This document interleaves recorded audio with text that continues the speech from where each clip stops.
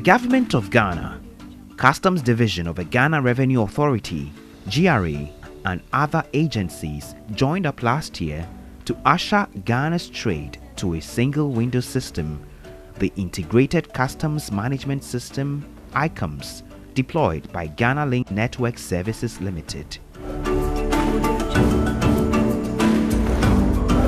The change stemmed from the rising cost import transactions, delayed clearance of goods, and what government deemed a huge leakage in revenue mobilization.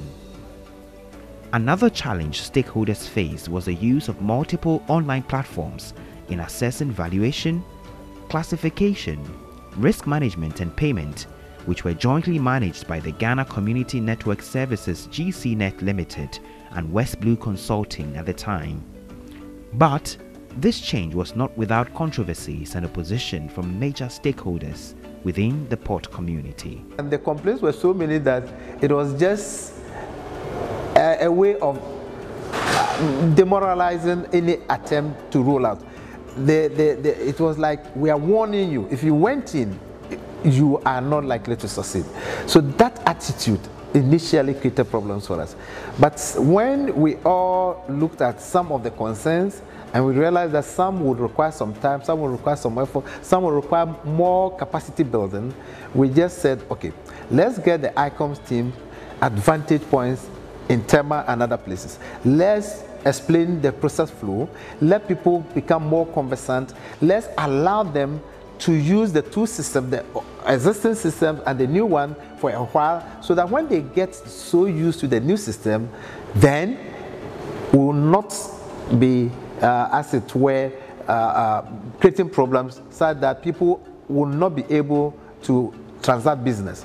So that period in May 2020 was very critical. There's always a problem with change management.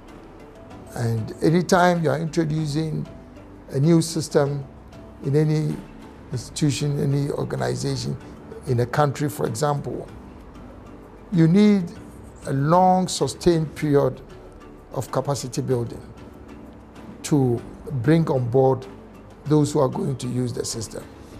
Again, because of the mindset and the lack of understanding and appreciation of the value of the system, there was a lot of resistance in getting uh, training to be organized for these stakeholders. I would say the transition was too swift because the movement of cargo within our port especially in Tema, is so huge that um, transition of such uh, nature should have taken uh, some kind of um, slow pace to get everything covered before moving from one system to another. That was a challenge. We, we could have done it far, far, far better than what was done. Yes, we're never informed properly, we're never trained we were never given the basics of the ICUMS. That made us felt that we were losing a lot out of the old system. We strongly were having some kind of fears that um, if a giant like this is living, uh, which had stayed in this country and has spent like almost 20 years and more, uh, where both agents and, and custom officers were familiar with their system, their software application that they were using. You know, when you are learning something with time, you become a consultant. And so to have a GCNet that had come to stay for over 20 years, it tells you that they have invested so much into the ICT infrastructure. The ICUMS deployed by Ghana Link Network Services functions fully as an e-customs system. It was introduced to coordinate cross-border trade activities, cut costs to stakeholders, and increase government revenue mobilization. Minister for Trade and Industry Alan Kyerematen explains the nature of opposition they faced trying to implement the new system. we were confident that once we're able gradually to build a certain level of confidence with the stakeholders, and once we're able to get them to understand the operational system and how to use the system, that they themselves will bear testimony. To be honest with you, first of all, let me give uh, some, some, some kind of uh, gratitude or appreciation to Honorable Alan Kyerematen, Minister for Trade and Industry. He stepped in and then he, he, he tried to calm everybody down, all the stakeholders moving up and down. We were moving up and down with him, trying to see where the challenges are and then um, sought for solutions to it.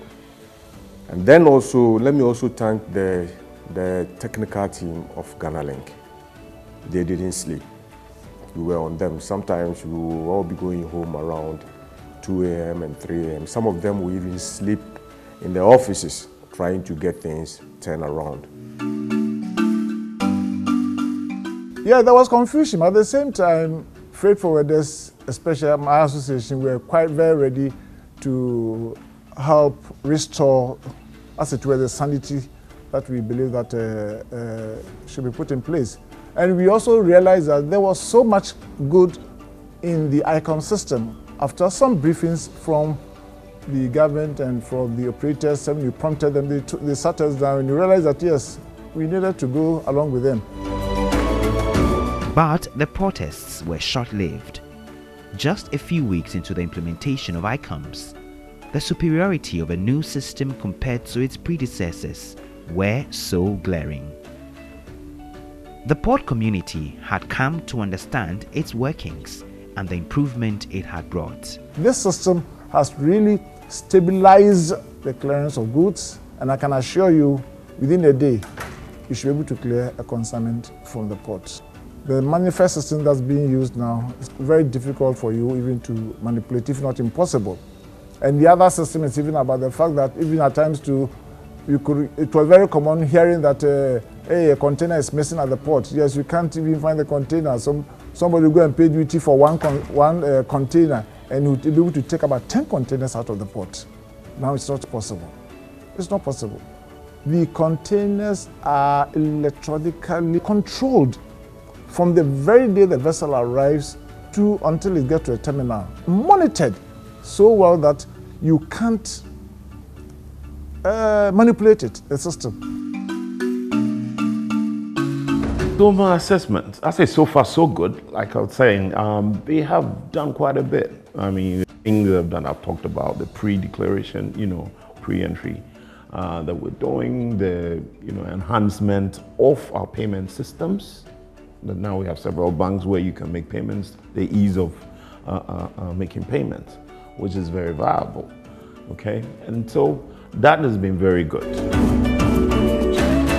The innovation was launched to revive the trade sector and came as a direct successor of the former pre-arrival assessment report system PARS and the Ghana Customs Management System GCMS. For it allows for effective monitoring.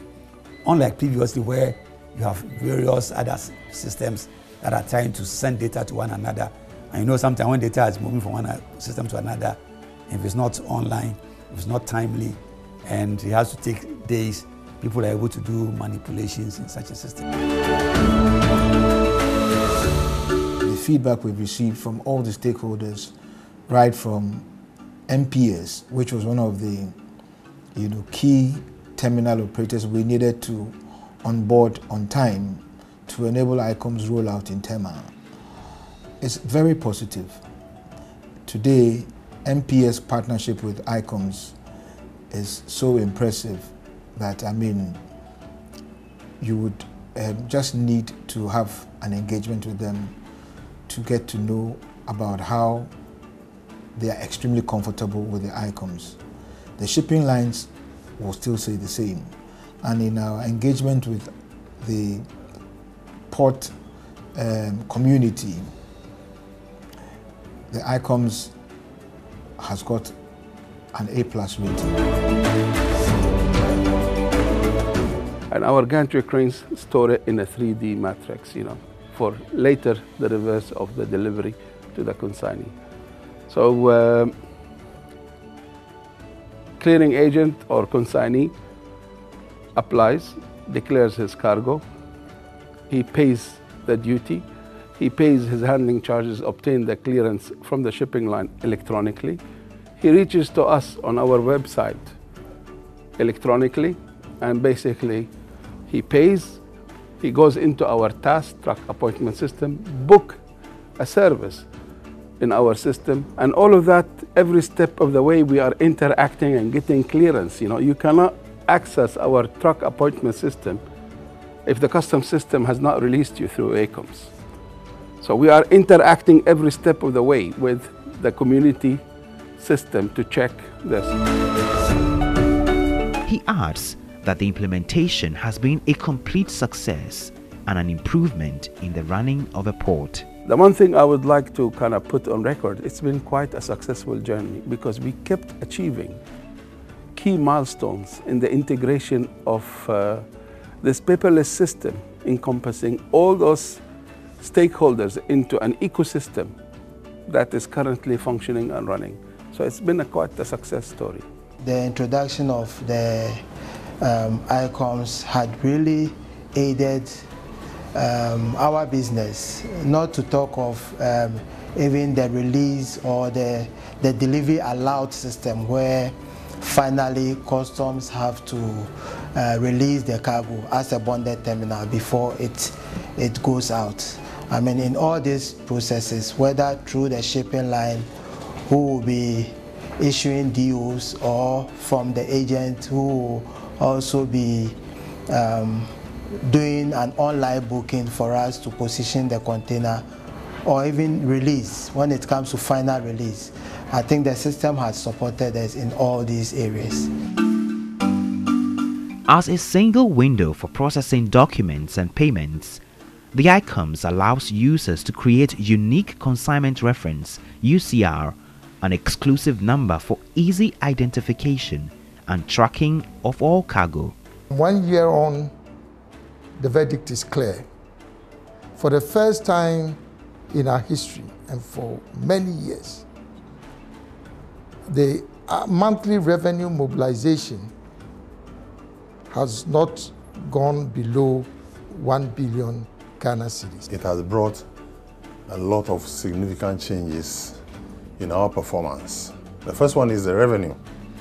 We can say that in a year 2020, when there was COVID,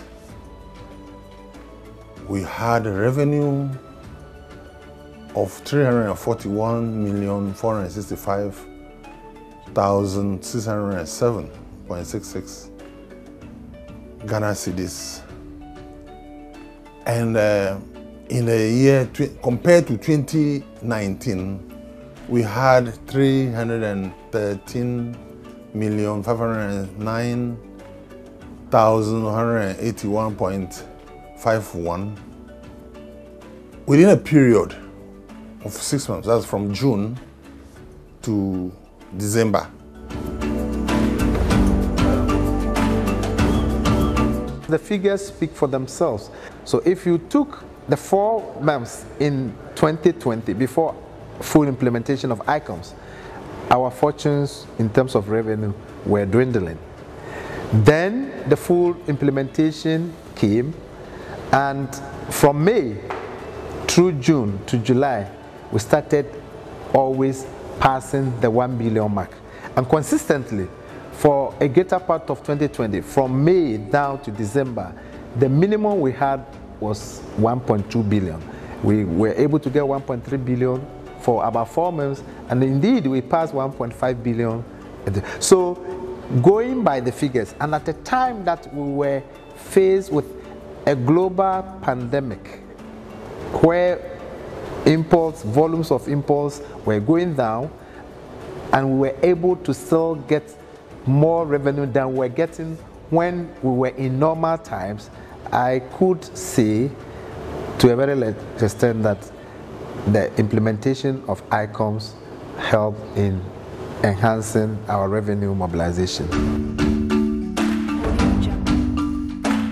The Director General of the Ghana Ports and Harbors Authority, Michael Luguje, says the ICUMS streamlines the tracing of missing cargoes and features end-to-end tracking, which does not allow any operator to tamper with figures, thereby increasing port revenue generation. It has been a success, a success story, which is exciting because it means a going concern, which means that we are going to, if one year down the line we have good stories to tell, then it means we are only about starting. We are going to improve further going down the line. But generally, I think the feedback has been that it has really improved costs of doing business because of the integrated nature of it, you know, compared to the previous situation where we had different satellite systems, the GCNet, the, the West Blues, and then the custom system itself. Now we have a single end-to-end -end system, which has helped to really save time, that saved cost. It has also you know, brought about an enhanced security feature.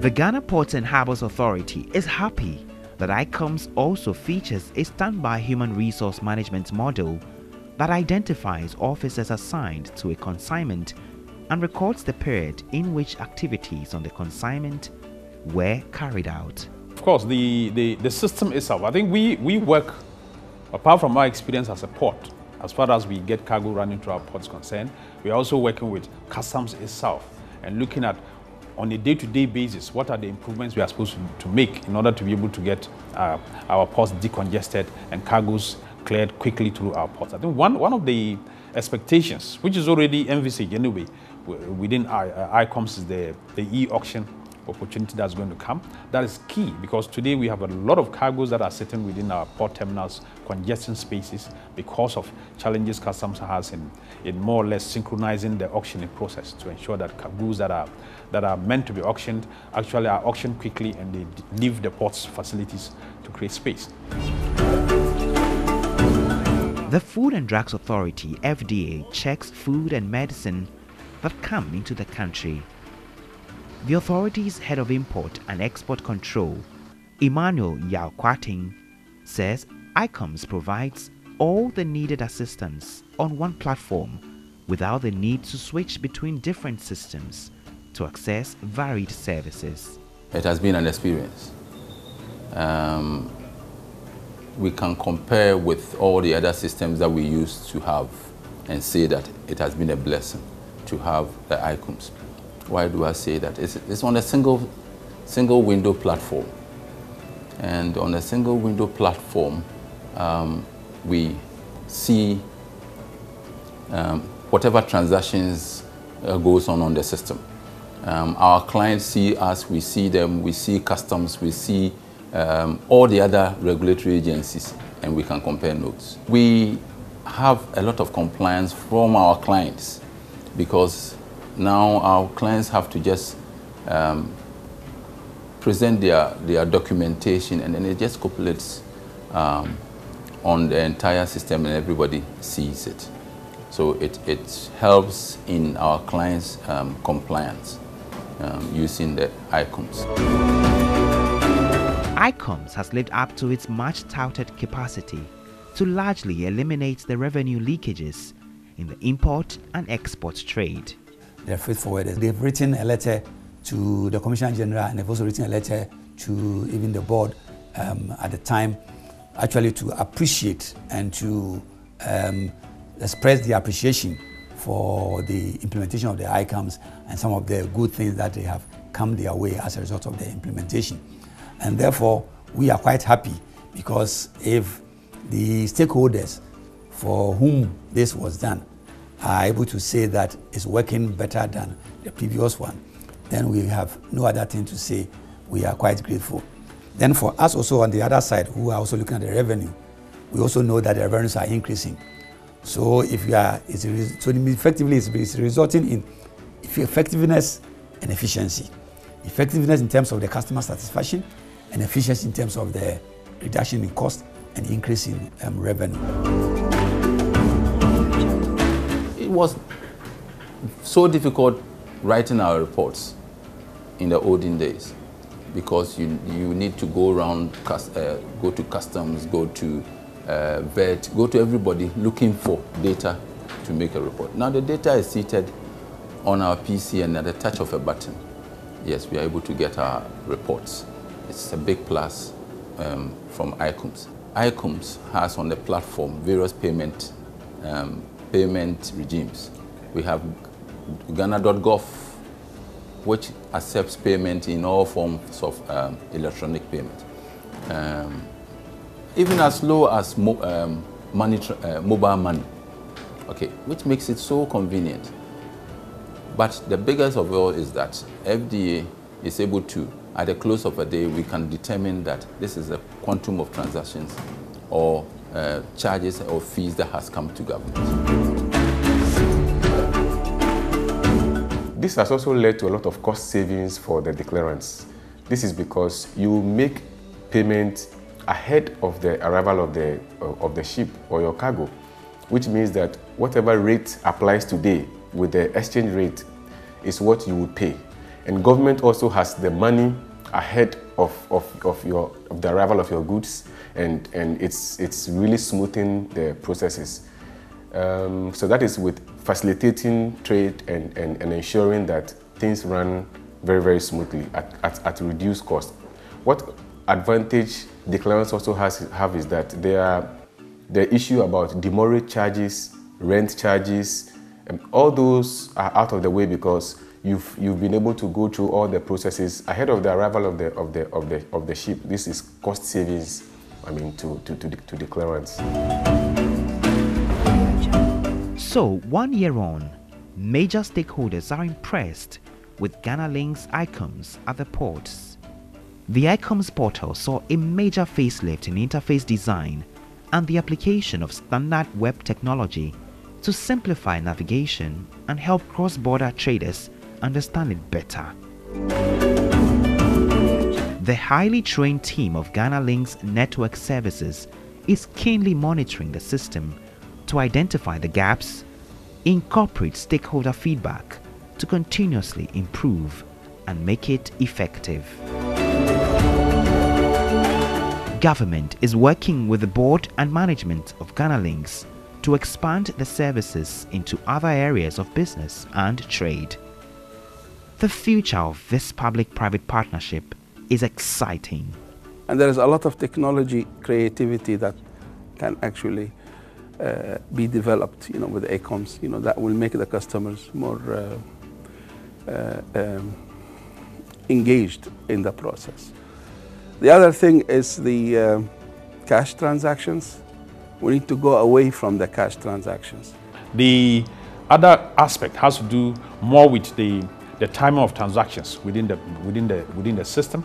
At least several agents are supposed to play a role, several officers are supposed to play a role in getting the cargo clearance end-to-end -end successful. How to time that and be able to report in real time as to every entity that played a role in the particular chain how much time they spent, and whether they could have done better than they've done. That will also be an opportunity for us to all be able to, uh, to work with and, and get things improved. These are recommendations Ghana Link is ready for. So the future is bright. We have a 10-year contract and we are in our first year. What I can tell you is, in the years to come, we are going to ensure that we reduce the number of physical inspections of cargo to 10% based on induced high compliance. We've rolled out, finished with the rollout of our first phase models, and we are working vigorously on the rollout of our second phase models. This will start from the end of June to the end of the year. Um, I could mention a few of, of, of these models. We are looking at an e-auction model. Currently, the auction processes are largely manual at the port. But what we are doing is to ensure that this is made electronic. We are also working on um, an advanced passenger information system. This will be used at the airport. This is supposed to help in profiling both um, um, um, um the passengers who are coming and the cargo they are coming with. I also hope that our immigration system and the movement of people will be fully integrated also into the ICUMS to ensure that when it becomes necessary to track the movement of goods in respect of importers, the new system that we are implementing would have a data warehouse that captures all these elements. It's been one year of excellence and total transformation, thanks to Ghana Link's ICUMS. Ghana Link itself, I want to say congratulations for piloting this project and getting it to travel a year down the line because anybody would have told that even one year is not enough for you to move from uh, the transition phase. But fortunately, we've been able to, we can, I think if we are counting gains, it means that to a large extent, we've traveled, if we haven't crossed even the transition, we we are at the end of it and we are then going to move into growth and, bet and better expansion. So we can only wish you all the best to be able to keep on researching, keep on researching and bringing new uh, add-ons that will help us even be better than we are today. So far, feedback we have been receiving from the sub-region, many are coming to look at the ICUMS system to see how it is working and learning from it. The feedback is, is quite a positive one.